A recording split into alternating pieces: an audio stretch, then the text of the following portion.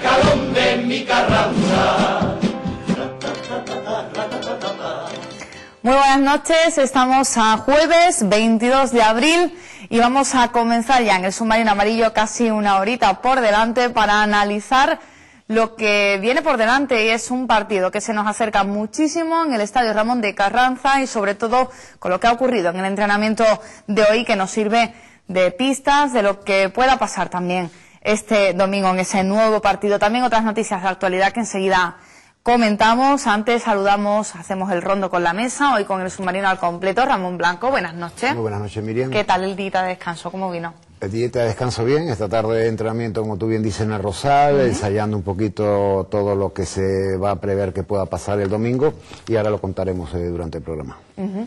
Y otros asuntos que seguramente saldrán sobre la mesa. Antonio Díaz, buenas noches. Buenas noches, Miriam. En tu caso me comentabas un poco sorprendido por una cosa del colectivo amigo tuyo, que son los árbitros. Los derechos de imagen, aunque tiene mala imagen, tiene que cobrar por ello. Mira, pues Ahora hablaremos tranquilo sobre ese tema, que cobran mucho dinero y me sorprende esa petición cuando trabaja, tienen su profesión al margen, ¿no? No es, no es dedicación plena al arbitraje. Pues una petición que analizamos ahora dentro de un ratito, lógicamente legítima por pedir que no quede, lo voy a pedir yo también, derechos ¿Hasta- de hasta- imagen. ¿Hasta qué edad se puede pitar, Antonio? Tu imagen merece la pena. ¿Hasta, hasta qué edad se puede pitar? Los buenos pueden pitar hasta los 50 años, los malos los retiran con Pues, que 40 si no y tantos. Ahora más, más vale ser árbitro que En jugador. Inglaterra duran Sale más más. rentable. En Inglaterra duran mucho Bueno, más. no se me líen con... eh, es Ramón que me lo, me lo revoluciona. Hugo Vaca, muy buenas noches. Muy buenas noches, Miriam Peralta. Hugo bueno, eh, Hugo es más bueno, Hugo es más recatadito. Sí, porque hace poco. revolucionario. Ya, es cuestión de confianza, ya, ¿no? Ya se no que- ¿Qué tal? Muy bien, muy bien. La verdad que, bueno, contento de ver a Ramón. eh, Llevamos del lunes invierno aquí en el programa, con lo cual ahora discutiremos también, tendremos nuestros más y nuestros menos. ¿eh? O sea que, pero bien, todo bien y con ilusión de ver si el buen momento ese de los últimos 20, 25 minutos se repite, pero los 90 minutos y podemos conseguir una, una victoria. Creo que es importante y bueno, ya entraremos también en ese debate. Desde luego que sí, ahora dentro de un ratito, antes nos toca avanzar algunos de los temas de hoy, aunque en parte también lo hemos hecho, lo hacemos en nuestros titulares.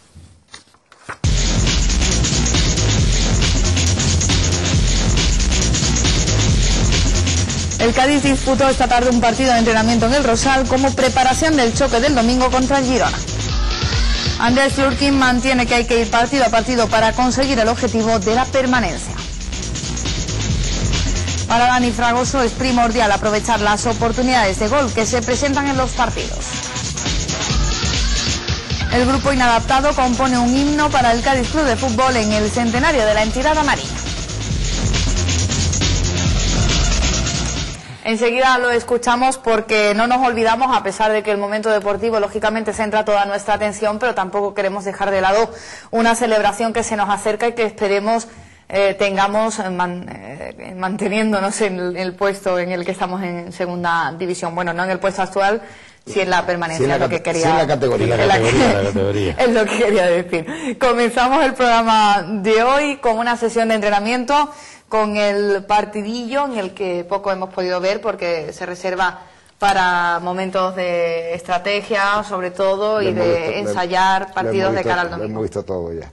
Ya lo has visto Sí, lo todo. visto todo. No, mira, eh, normalmente conociendo a Víctor, Hugo lo conoce bien, yo también, Antonio también, él cuando más o menos funcionan las cosas no, no se tocan. ¿no?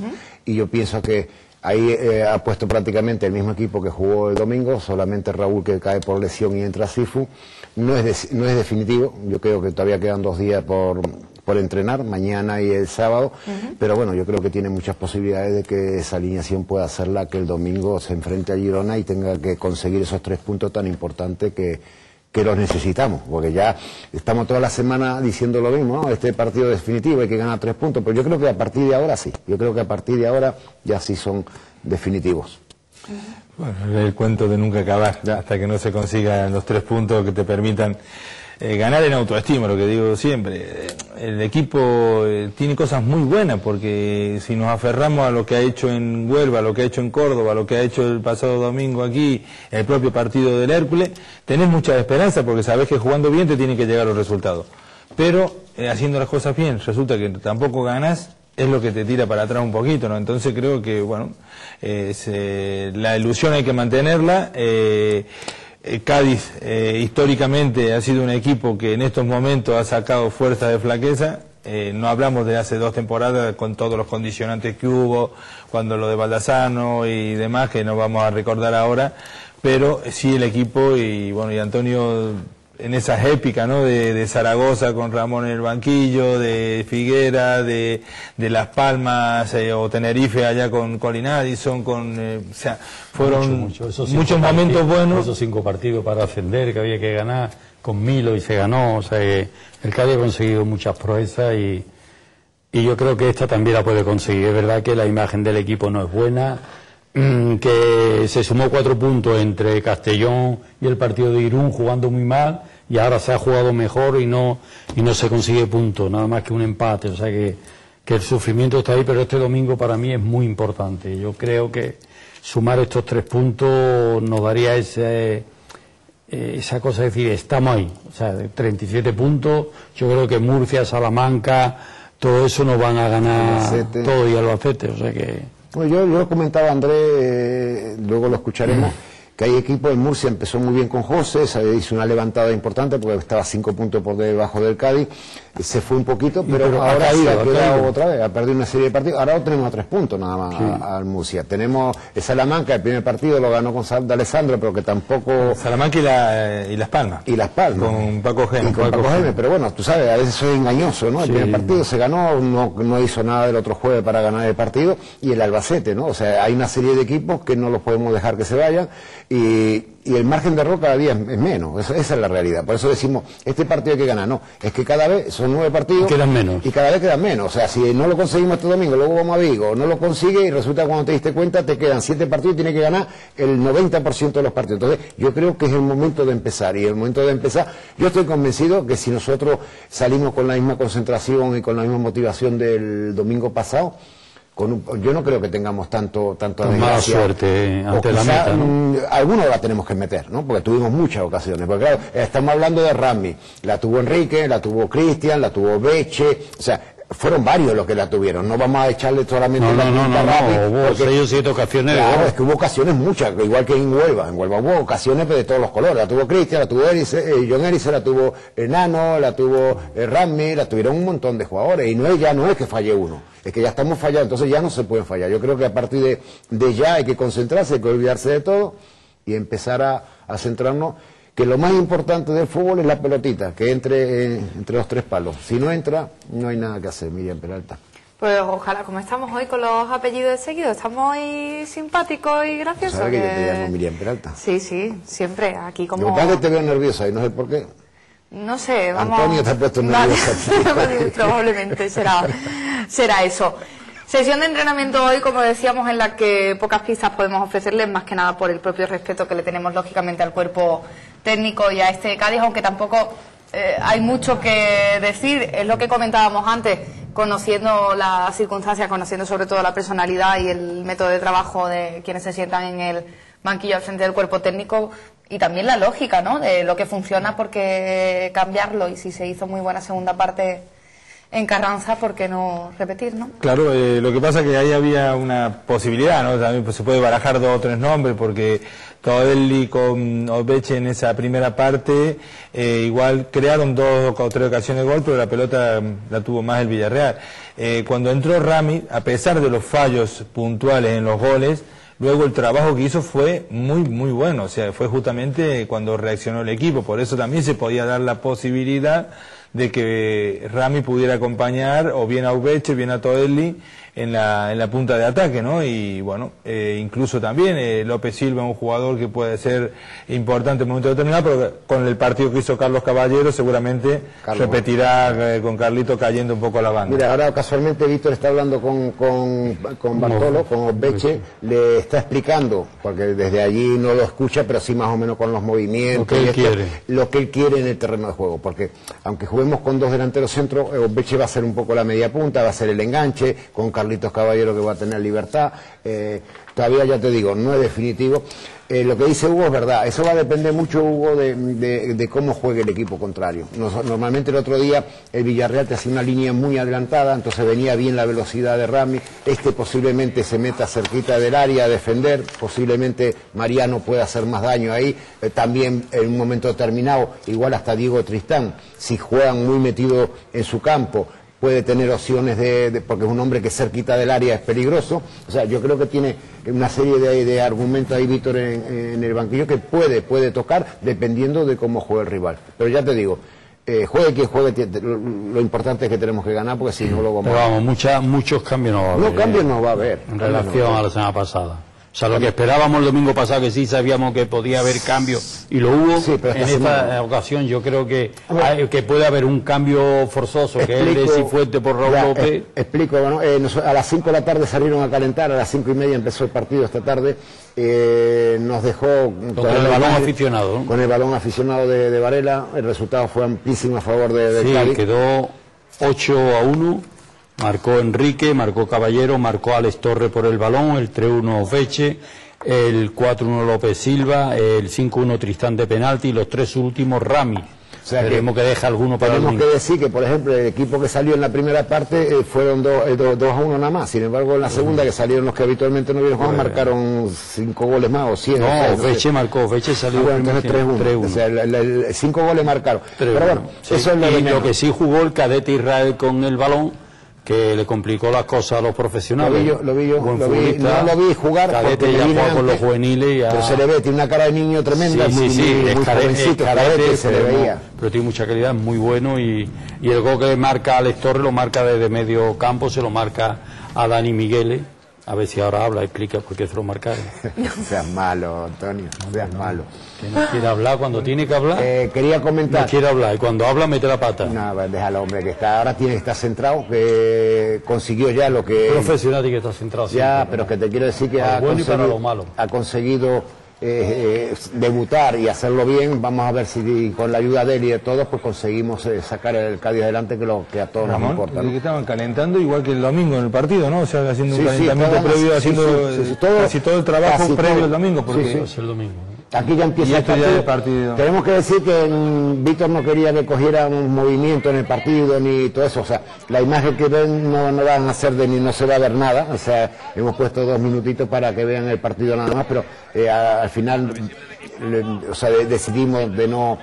Decidimos no, nos pidieron ellos que no que no grabáramos. se grabara, ¿no? Exactamente, y no lo hemos grabado y ya está. No, pero pero bueno, si con, esto, con estos minutos nos conformamos nosotros para que los aficionados no, sí está puedan claro, está claro. Si nosotros tampoco queremos grabar ni todo el partido, ni ver los movimientos, ni la estrategia, ni nada. Eso ya es una cosa muy, muy del equipo y son ellos los que tienen que hacerla y que tener for- fortuna, ¿no? Claro, muchas veces también los entrenamientos se, se suele utilizar para que el sparring, en este caso el balón, Juegue como el equipo juegue un poquito Ah, como, como el rival, rival, claro. porque el rival, eh, Girona eh, es un equipo que ultra defensivo, o sea, un equipo que juega con dos líneas de cuatro muy pegadita, juega con un media punta que eh, suele ser Roberto Peragón y luego con que un no punta jugará, que Antonio no jugará aquí porque está sancionado.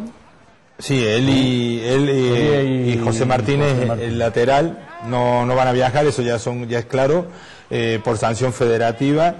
Y también están lesionados David Caña, eh, que es el jugador que fue de la división Salamanca, inferiores del De Sevilla Sevilla y, y todo, sí. y de Salamanca. Y Mar Bernau, o sea que Mar eso Bernau. seguro ya que esos cuatro futbolistas eh, no va a poder contar. Y luego también tiene una serie de jugadores lesionados que de momento, a espera de mañana que se vaya a dar la lista de convocados, Recupera alguno, ¿no? pueda, sí, recupera, bueno, a Matamala y a Galán, que son los dos jugadores que tenían sanción. Gerard López. Gerard López también, Gerard López también, que puede tener posibilidades ante la baja de, de Roberto Peragón, que ahí posiblemente... Dice Hugo y Ramón, me habéis comentado los dos que juega con un equipo súper defensivo, que juega dos líneas de cuatro y juega con un, Media punta. Un media un punta, media que trabaja arriba, mucho y un también hombre arriba, y un solo hombre arriba. arriba. Lleva 43 puntos con ese sistema siempre. Sí, bueno, y cómo está el Córdoba de Lucas Alcaraz, que Ah, bueno, igual. si los verdad, equipos que que están defendiendo es son los que están sacando Alcaraz, es que en esta categoría mantener la portería cero y que tener aprovechar esas dos o tres oportunidades que se te presentan en un partido, porque se te presentan dos o Sí, tres sí, sí, sí. oportunidades. Marca una Aparte como- es un rival que a la- en la estrategia también trabaja muy, Trabaja bien, muy bien, con sí. Matamala y con Caña, menos mal que no viene, pero es un jugador que verdad, también en la falta mucho. Eh, en la falta es y después, importante, un y después otra cosa, que el mediapunta no es el clásico mediapunta que viene a tocar, a buscar, a hacer... pa- No, no, el mediapunta es delantero, delantero. O sea, hace la mediapunta, pero siempre buscando diagonales Sí, a la pero banda. normalmente eso lo hace Peragón, ¿no? Aparte es- es que Peragón no está. No, pero, pero lo- yo no sé quién Sí, lo va a hacer. pero tanto Calle como Peragón son jugadores que van, chocan, gritan y provocan falta. porque ellos, ellos- juegan de es lo eso, que buscan. claro, pero Calle me da miedo. Hugo. Sí, sí, es A buen Cádiz- futbolista. A Cádiz, pero a claro, Cádiz siempre le marca. Ellos Ah, tienen eso, el juego de ellos es balón largo para jugar una contra. Si tienen la posibilidad de provocar una falta cerca, eso es todo el juego, en eso basan su estrategia. Pero Y no tienen ningún rubor, sobre todo menos, ya lo hacen en casa. Jugando de local, lo hacen, calcular cuando juega afuera. Eh, eh, en casa nos tiraron cuatro veces y nos metieron cuatro. Que fue el resultado. Jugó el Lama, ¿no? Jugó en Lama. Pero bueno, eh, nosotros no marcamos ninguno, Antonio, y eran muy malos. ¿eh? Yo yo me quedé asustado cuando nos marcaron cuatro porque yo no había visto un, un equipo. Yo siempre has dicho que ese equipo defendía, Ya, ya no, no va a descender, porque si No, no eso, antes seguro. descendemos nosotros, porque tienen 43 puntos, nos llevan 9 puntos, es muy difícil que los cojamos ya, pero bueno, mm, cosas más raras han pasado. Cosas más raras han Hombre, pasado. con esa puntuación creo recordar que descendimos nosotros, teníamos, había que ganar un partido de 7 o no sé qué, o teníamos 45 puntos. Sí, no sé dónde- Quedaban 7 y teníamos 45, había que ganar un punto para llegar a 48, que Eh, resulta que no los que están todavía ahí con 41, 40, 39, todavía Está- no- está metido en el metidos lío. Están metidos porque como ahora los tres puntos suman mucho, en el momento que cogen una rachita, es que todavía nosotros no hemos cogido una rachita seguida de tres partidos ni de cuatro. ni de ¿De dos. No, una vez.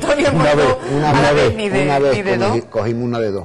Con Javi Gracia cogimos ¿Cuándo? una de. Eh, Albacete. Albacete, Albacete y Reunión y Recreativo. y Recreativo, recreativo, Albacete y Recreativo. exacto. O sea, una Bueno, vez sí. Vamos a ponernos más positivos, desde luego. Hay que dar una a- rachita de tres partidos. Exacto. Tres, tres, con Los tres que quedan, ya está. Los que quedan de tres en tres ahora a partir de, de este momento. Partido a partido es como va Andrés Fleurkin. Nos atendía en esa sesión de entrenamiento de hoy. A ver cómo está.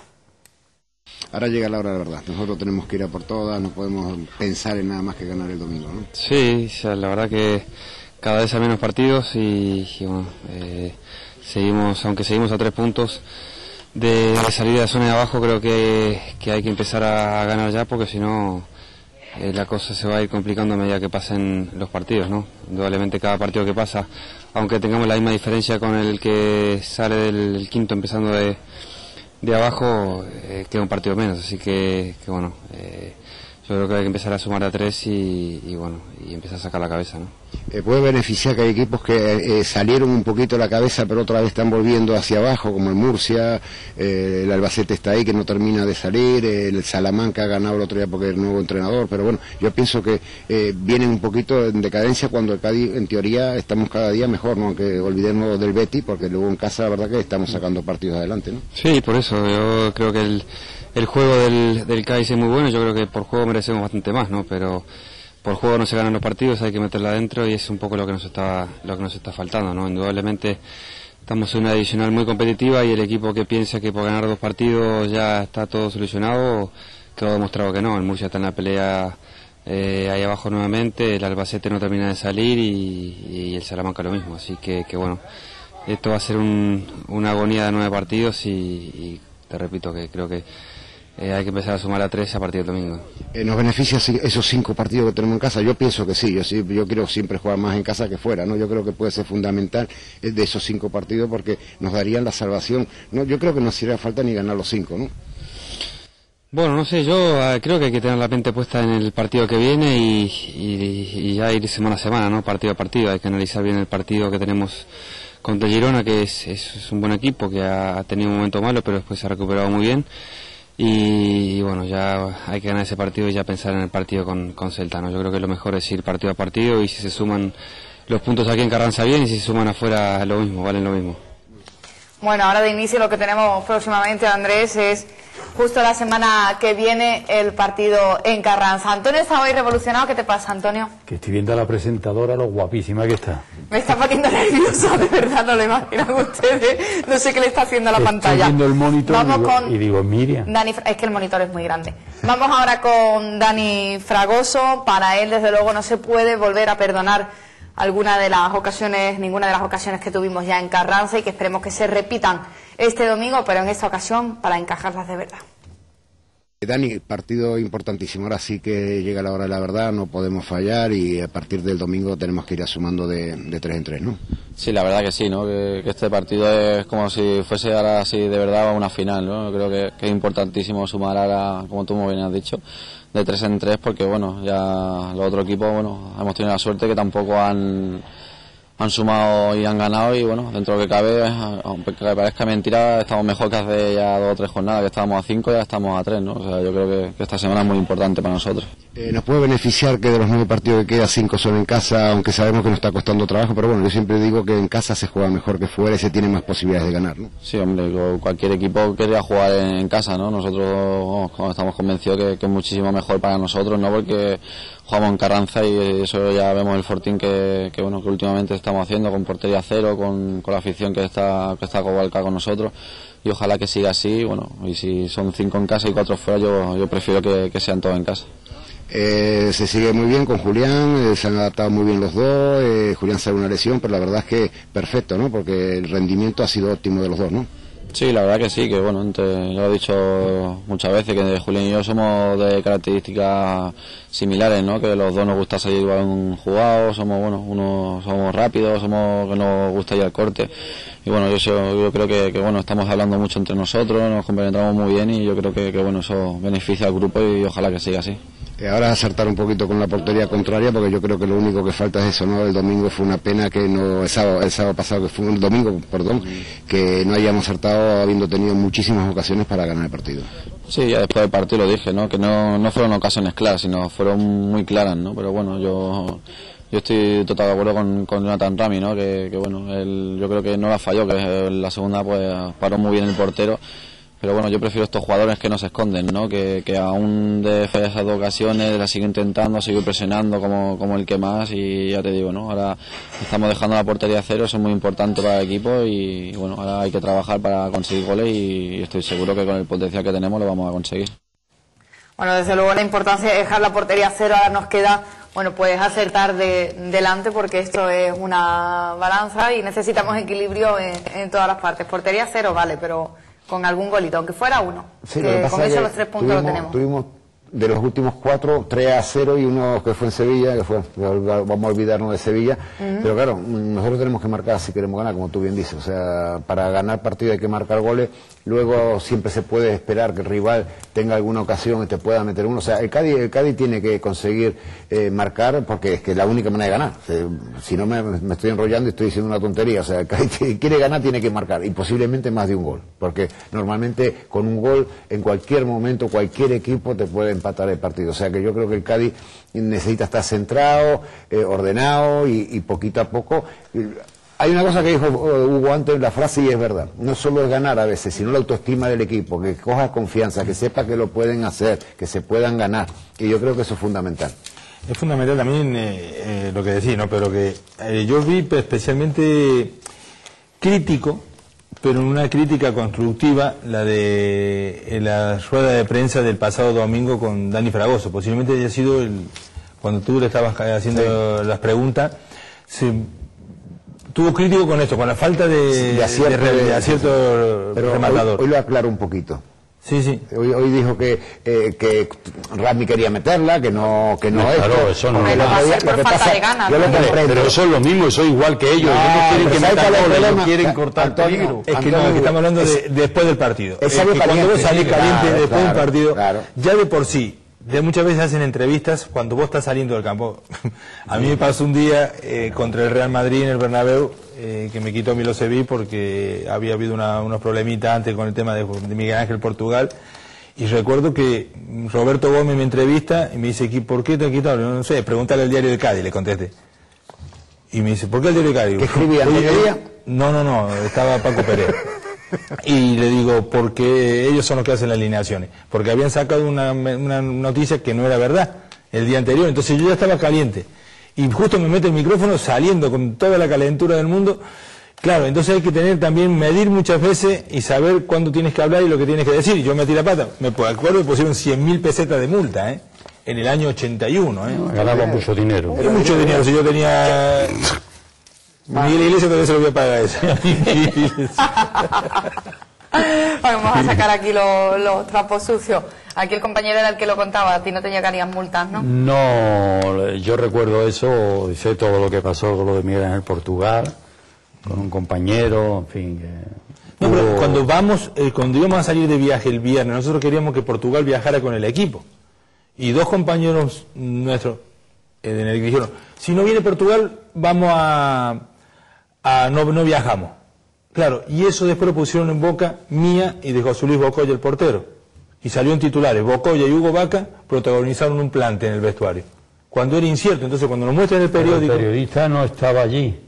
Eso salió, eso salió, ¿cómo, a ser- cómo va a estar ahí si está en el vestuario? eso salió del vestuario. Claro. ¿Y por qué Portugal no iba con Porque el- hubo un Porque hubo un enfrentamiento enfrentamiento con Carlos Medina el con Carlos. miércoles, hubo un, su palabra sí, y fue sí. separado del plantel. Y yo lo que decía, si el jugador ha hecho algo incorrecto, que pague una multa, pero que no se separe de la plantilla porque eso va en detrimento al equipo. al propio equipo, era la, la versión mía.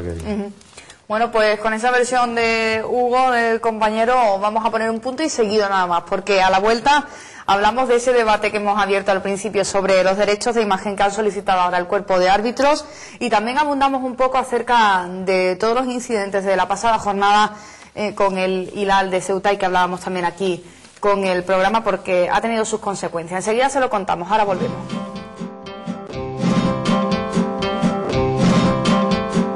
Me han dicho que el amarillo está maldito para los artistas. Y es de color, sin embargo,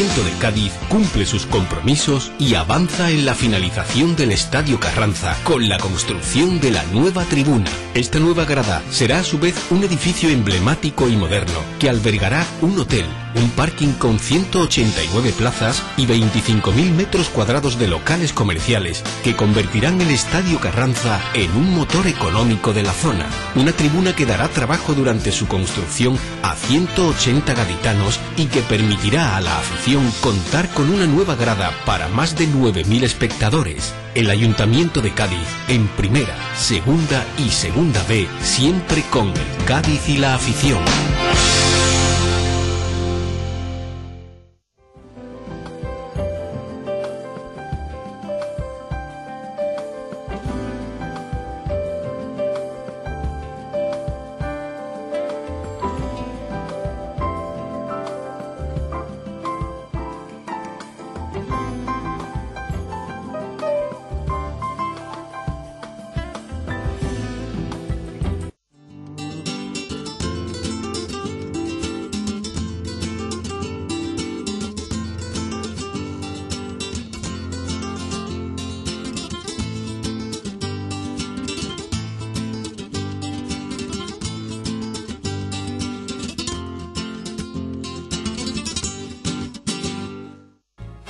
Los grandes eventos, bodas, cenas y la posibilidad de continuar con los servicios de una discoteca sin tener que moverte de Cádiz. Instalaciones totalmente acondicionadas con cocina propia y capacidad para más de 300 invitados. Descubre todas las posibilidades que te ofrecemos. Discoteca Holiday. Visítanos.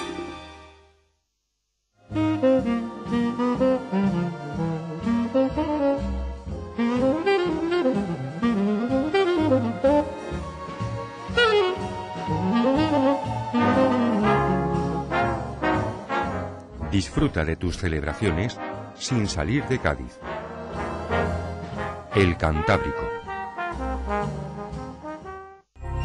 Bañarte libremente en el mar. Despertar de inmediato a los rayos del alba. Quítate el peso de tus gafas. Clínica Oftalmológica Tecnoláser es pionera en la provincia de Cádiz, operando con la técnica intraláser sin cuchilla. 100% láser. Miopía, hipermetropía y astigmatismo.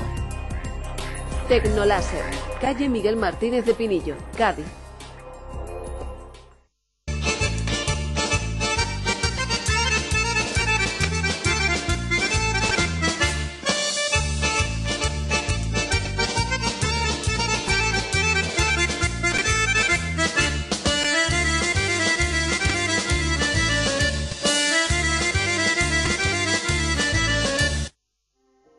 Si está pensando en hacer reformas en su casa, comercio o comunidad, Joima. Joima pone a su disposición un equipo de profesionales cualificados, albañiles, fontaneros, escayola, aluminio, PVC. Todo lo que necesite lo encontrará en Joima. Visite nuestra exposición en La Laguna, calle Zurbarán, teléfono 956 26 40 40. Presupuestos sin compromiso. Confíe en Joima. En Asisa aseguramos tu salud. Número uno en asistencia sanitaria. Sin listas de espera. Tú te mereces lo mejor. Porque somos médicos. Asisa.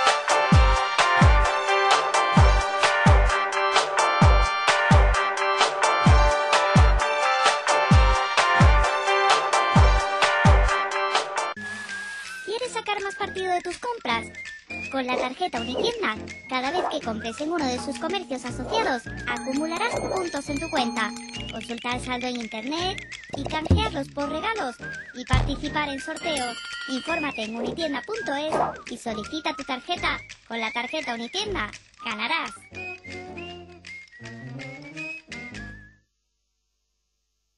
El Ayuntamiento de Cádiz cumple sus compromisos y avanza en la finalización del Estadio Carranza con la construcción de la nueva tribuna. Esta nueva grada será a su vez un edificio emblemático y moderno que albergará un hotel, un parking con 189 plazas y 25.000 metros cuadrados de locales comerciales que convertirán el Estadio Carranza en un motor económico de la zona. Una tribuna que dará trabajo durante su construcción a 180 gaditanos y que permitirá a la afición contar con una nueva grada para más de 9.000 espectadores. El Ayuntamiento de Cádiz en primera, segunda y segunda B, siempre con el Cádiz y la afición.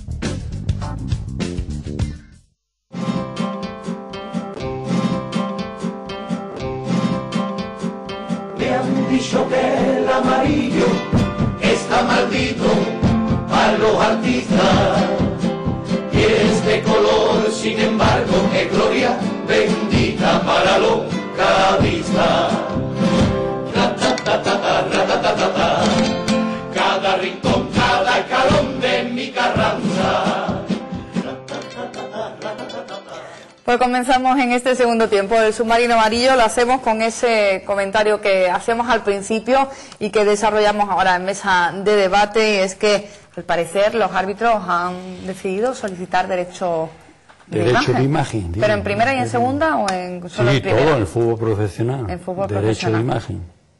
Y que se niega, o sea, una de las cosas que pide es que no se televisen los partidos. Que no se televisen los partidos. Y Hasta, con que... hasta que no arreglen, sale su imagen. Claro, hasta que no arreglen su, su condición de la, o sea, de, de- de la imagen. Ellos quieren cobrar, Ellos quieren cobrar. ¿eh? pero cobran por todo. Eso es lo que te iba Mira, a comentar. te voy a porque- hablar de, de primera división, Miriam. Un árbitro de primera división cobra 100.000 euros fijos al año, más 3.200 euros por partidos. O sea, ya te puedes imaginar el dinero que ganan los colegiados. Me estás hablando Y de esto- unos, perdona Antonio, estoy haciendo la primera. cuenta, de unos 8.500 euros al mes. Exacto. ¿Estamos hablando? Bueno, fijo sí. Fijo, sí. Más- Fijos. Fijo. Y, Y luego por partido. y por partido, por lo menos al año. 20 ponle. Ma- más, por la Bueno, Copa. co- Copa, bueno, pero vamos a ponerle 20. Son 20 son partidos. 30, son Vale. 600, 60.000 euros más, 60.000 70.000 euros euros más. O sea, eh, O sea, que ya ellos tiene cobran, 160.000 euros. Aparte de los 100.000 euros fijos al año, cobran 3.200. Si arbitra al mes eh, alguno de Copa y día cobra tres partidos, ya tiene ahí. Ellos Un cobran millón y 8 medio. millones de euros de la Liga Nacional de Fútbol Profesional, es el que le paga a los árbitros. Para Pero luego también tienen publicidad, porque tienen publicidad en la camiseta con una aseguradora. Cosa de que si no se televisaran esa publicidad no la cobrarían, No la porque no estaría claro. saliendo En ninguna parte. en Correcto, correcto.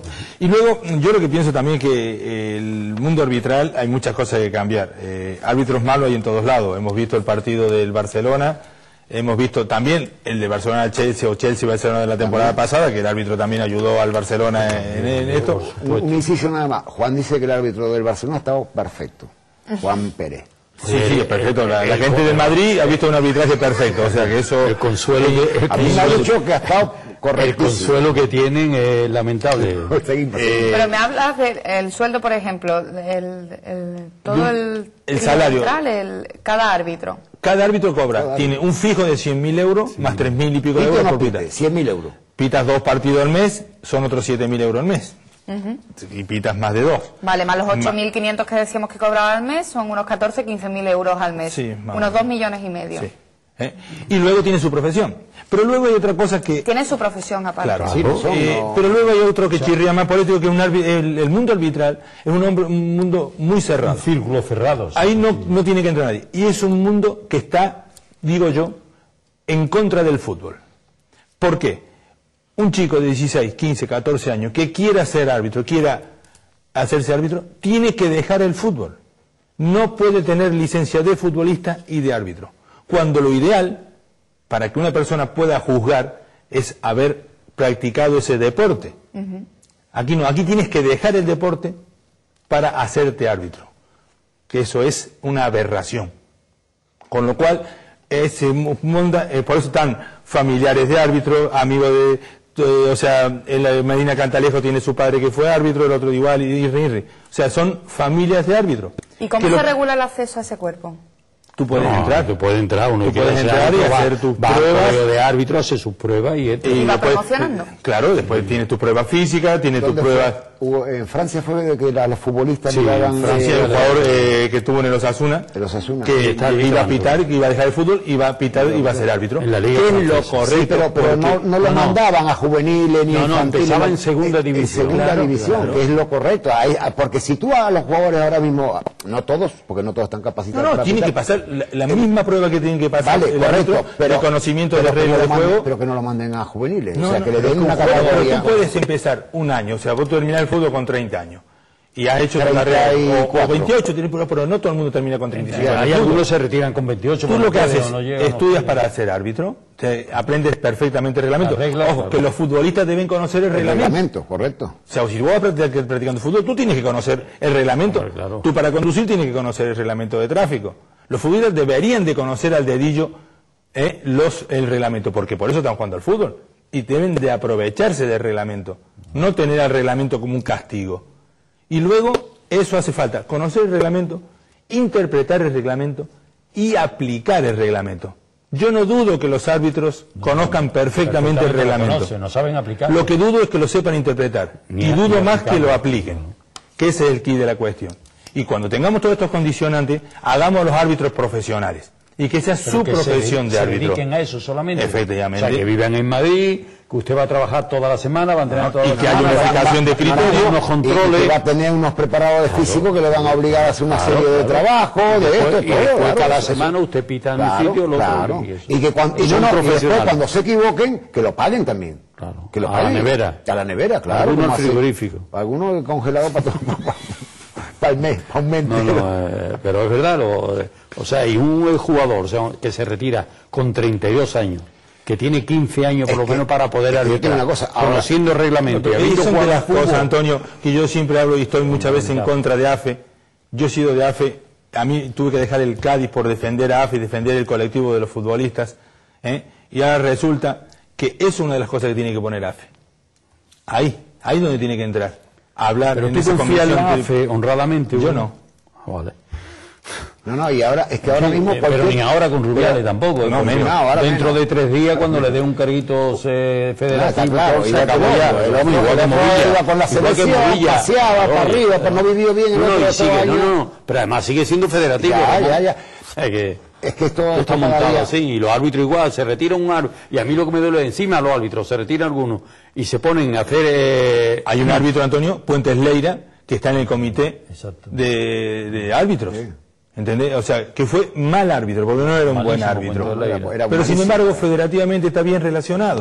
Está también López Nieto, está ahora Medina Cantalejo también, Díaz el comité Vega. técnico de Díaz Vega está como esto, o sea, Sánchez Arminio. Me han dicho que López Nieto es el que está El que designa el los árbitros, designa o sea que está árbitros. muy bien Muy, muy considerado bien, dentro del estamento arbitral del Comité Técnico de Árbitros. López Nieto fue un buen Un árbitro. Fue buen árbitro. López Nieto fue buen árbitro. Para mí de los mejorcitos. Pero Puente Leira no fue buen árbitro. No, y Medina Cantaleja fue muy presuntuoso, fue un árbitro Pero que no era No era malo era mal árbitro. No ¿eh? era A mí no me gustaba, no de los que me Lo gustan. pasa que era quizás... Pero no era No, no, no, no. Eh, a ver cómo te explico. Quería estar por encima de los futbolistas. Sí, sí, no, el- protagonista. El, árbitro no puede estar por encima de, de los futbolistas. O sea, tú tienes que pasar esa... ¿Qué decimos nosotros, Antonio? Que el, el mejor árbitro es... El que pasa el desapercibido, desapercibido, que no se nombra. El que, no, que tú no te das cuenta que hay un árbitro pitando. Ese es el mejor árbitro de, de fútbol. Pero eso de que los jugadores tuvieran esa posibilidad de arbitrar, eso sería Es que muy ahora, bueno es que- para el fútbol. escúchame, es que ahora mismo gana más un árbitro que muchos jugadores de segunda división, ¿eh? Sí, sí, sí. es que estamos hablando, vamos a poner unas medias así, estamos hablando de 200.000 euros al año. Cosa de que hay muchísimos jugadores de segunda división, ya no hablemos de segunda vez, que no ganan esa- ese dinero. Porque antes no, antes mira, antes cobraban por los eh, por los partidos que pitaban, pero no, pero es que ahora no, es que ahora lo tienen todo, a los mejores hoteles, eh, los mejores desplazamientos, eh, todo. Sí, Es que aparte lo- ellos hablan ahora de que quieren tener un trato especial como también están considerados futbolistas de élite que tengan reducciones fiscales, que es otro de los temas, que bueno, es un tema también... a- ¿Encima? Sí, sí, sí, de que tiene guasa y sobre todo en el Sí. contexto que estamos teniendo de, de, de crisis Casi con los gana. millones de parados que hay en España que estos señores pero, vengan a pedir más dinero con que todo mi respeto. sí vamos. pero el fútbol lo que pasa es que el fútbol el fútbol profesional genera mucho dinero Claro. muchísimo dinero y entonces ellos quieren una parte de esa tarta Una pregunta que me hago yo. Eso sería para primera y segunda división. Que Sí, sí, el fútbol profesional. Entonces los- ya no asciende más nadie, ya no se va nadie de fútbol profesional. Ahí se hace un coto privado Es que ese y ahí no entra ni sale nadie. Antonio. que ese Sí, es el es la verdad. Irían de segunda a primera, de primera a segunda y de segunda a primera. teóricamente serviría para mejorar, porque todo el mundo quiere estar en la élite para poder Sí, ganar sí, ese sí. dinero. Pero- Pero, claro, lo que pasa que tal y como se mueve ese colectivo, No, no lo dejarían entrar. eh, No, sería un sube, porque hay un árbitro hasta que no termine No, hasta que edad, jubilen. hasta que se jubile, no saldría nada. Eso sería ya de- resulta que tiene que haber árbitros de todos los comités territoriales. Con lo cual, igual hay un excelente árbitro aquí en Andaluza, como puede ser Jorge Figueroa Vázquez. Sí, y no un árbitro de segunda B, que fue el que le salvó el partido a Ah. Pérez Burrul con el Atlético de el Madrid-Valencia. Sí, en el correcto. En el. Eh, fue el cuarto árbitro que tuvo que tomar una decisión el cuarto árbitro. Ese es Jorge Figueroa Vázquez. Y ese chico estaba primero buen para árbitro, subir. ¿eh? Muy buen árbitro. Muy buen no árbitro. subió. no, no va a ascender No subió a Porque ya segunda. estaba el cupo del andaluz. no no claro no que la andaluza no que no ¿Tú sabes tiene- qué hacen en Madrid? lo mandan al colegio. Eh, a ver, Piro Zamorano está en el castellano manchego. eh, igual que Rubino Pérez, como hay muchos en Madrid, entonces ¿qué hace? Se, se, Cambian se- de colegio. se en otro colegio y entonces así están todos, entonces de Madrid hay un montón. No cerramos del todo el debate, aunque sí más o menos, aunque seguimos con el cuerpo arbitral. En este caso, para anunciarles que después de todo lo que hablábamos ayer del trato claramente discriminatorio que tuvo el, el árbitro del partido del Hilal de, de Ceuta Hilal con los chicos del Cádiz, pues ahora resulta que el árbitro ha presentado una denuncia formal, entendemos, ¿no?, por Porque amenaza de recibió muerte. amenaza de muerte. O sea, eso demuestra que todo lo que se vio en el partido y todo tenía, digamos, entre comillas, una explicación. ¿no? Es muy fuerte, ¿eh? Y eso no muy se puede fuerte porque... denunciar o no puede Está levantar denunciado. acta en aquel momento del partido. Quiero decir, No. igual que se detiene el partido por unas pelotas de papel que hay en la portería, no se puede detener por campo, hechos como el que ha denunciado. Ah, pero un Estamos viendo, un mira, la jugada, la jugada del primer penalti. ¿eh? El jugador se resbala porque el campo está mojado y el árbitro pita el penalti. Y Tira el encima lo hace penalti repetir. y lo hace repetir y le saca otra vez cuando los que han, se han invadido la zona Son eran ellos ellos, los que son los blancos. penalti, claro. Son los blancos Claro, los que claro. entran. Que- Esto es increíble. Entonces, claro, eh, ese hombre mm, amenazado. Aquí en ese córner pitó también otro penalti, no sabemos a quién. Ese campo eh, me parece que es el Ese- mismo donde me, me dieron a mí por todos lados. Claro, Un eh, año, sí, este es el mismo, ¿eh? Entonces, eh, la verdad que entran muy, muy condicionados y estamos hablando de juveniles. Fíjate lo que este sí. El jugador del Cádiz va por delante del blanco, el blanco va detrás, se, Sí, cae. se cae. Se Pues cae, yo yo comprendo. No, es que tú no has estado Hombre, ahí, que- Lilian. Tú no, ya, ahí. ya, me puedo hacer Mira, mira, mira la jugada. porque- Mira la el jugada. jugador del. Cádiz va por delante. Y no toca ni nada. Yo, yo ahora voy a poner un poquito de, de, de, de- de ayudita al árbitro. No, no, no. Estar ahí, Antonio, y que te te hayan amenazado, hay que. Que sí, yo que te sí, lo juro. Yo entré en el vestuario. Bueno, yo he jugado contra el África Ceutí hace muchísimos explico, años. Yo entraba, Era horrible ya. termina el primer tiempo, nos dan por todos lados, pero botellazo, patada, palo. Llegamos, voy al vestuario del árbitro y le digo al árbitro, no vamos a salir a jugar. Me dice, no sale, te, te vamos a quitar. O sea, te pongo 3-0 a favor del rival y no se juega. Y el presidente de Ceutí, con el dedo así, me metía el dedo, pero así, ¿eh? Que no vas a salir. Y, me- y le decía yo al árbitro, señor, que me está agrediendo este hombre. Una, una cicatriz por aquí le le daba miedo nada más que verlo. No te Nada. daba miedo, claro. Tardamos una hora en salir, hasta que no vino la, la- la policía no salimos a jugar. Pero claro, como me expulsaron a uno, en ese, en ese revuelo resulta que me expulsan a mí a uno. O sea, nos dan a nosotros, eh, Melgar, el portero, viendo que le estaban dando a más cebosa con una botella, le cogió la mano y lo, lo echó para atrás. El árbitro lo ve y lo expulsa. Entonces salimos a jugar y, y recuerdo perfectamente, había dos o tres policías que eran Eso era la- en segunda B con el en San segunda Fernando. vez, sí. Nosotros no estábamos jugando en la, la liguilla, eh, o sea, pa- pa- o sea, no. En tercera Era en para tercera para jugar la liguilla. Ascenso. Teníamos que y ellos estaban jugando el descenso, estaba Bermúdez, el lateral de que jugó en el Sí, Cádiz, estaba jugando, estaba jugando Muralla ahí. este y un central que después jugó en el arco, que jugó en el Cadive, uno rubito, no me acuerdo yo cómo se llama.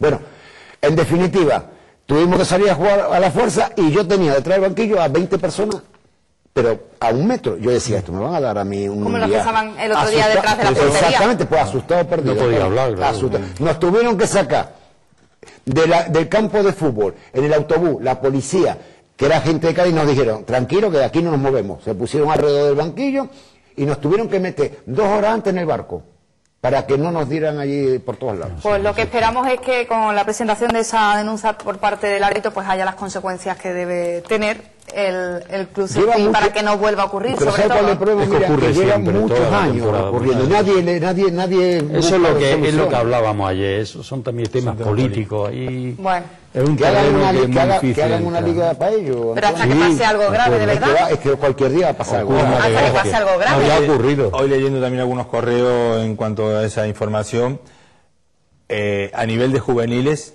también ocurre mucho. No hace falta ir a- aquí No, en no, Andalucía. no, sí. Vos vas a Huelva, nosotros hemos estado con el Cádiz B eh, cuando ascendió el último Málaga partido de Liga. Allá fue en Cartaya, ¿no? Eh, creo que recordar, en un partido que, duró, tuvo 15 o 20 minutos parado el partido y duró 4 minutos más y el Cádiz no pudo ascender o no pudo entrar en liguilla.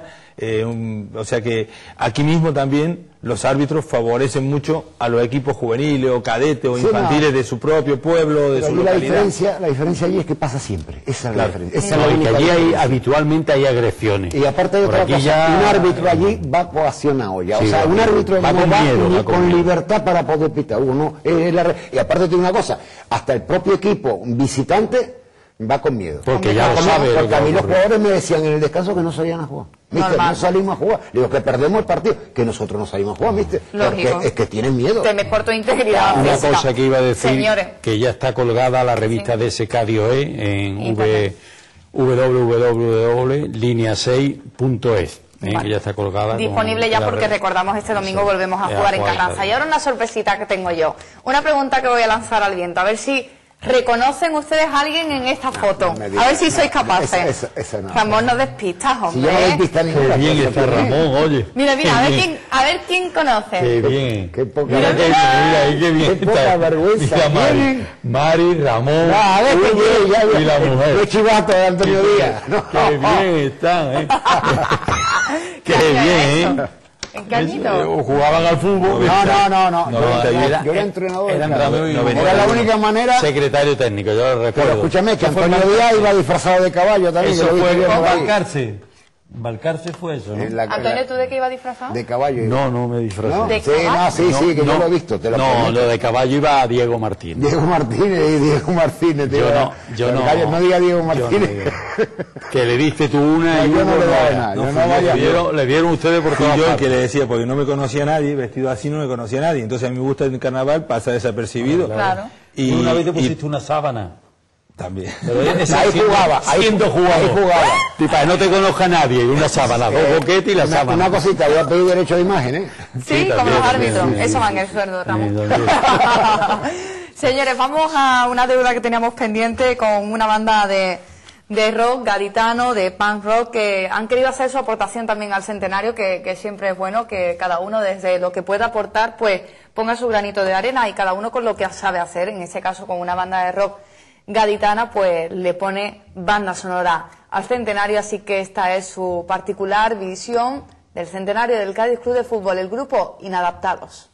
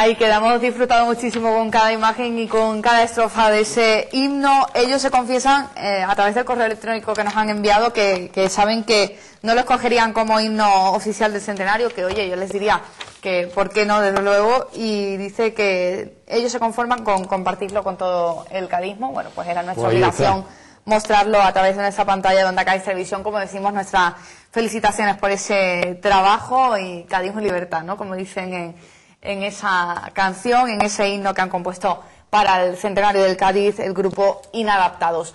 Con ellos ponemos punto y final, yo creo que ha sido un buen broche de oro. Mañana previa del partido, a partir de las 10 de la noche, aquí en el Submarino Amarillo, no me faltéis ninguno y tampoco ninguno de los que estáis al otro lado de la pantalla porque seguiremos fieles con nuestras citas puntuales y con muchas dosis de optimismo de cara al previo de la jornada de ese nuevo partido del Cádiz Club de Fútbol. Hasta mañana, muy buenas noches.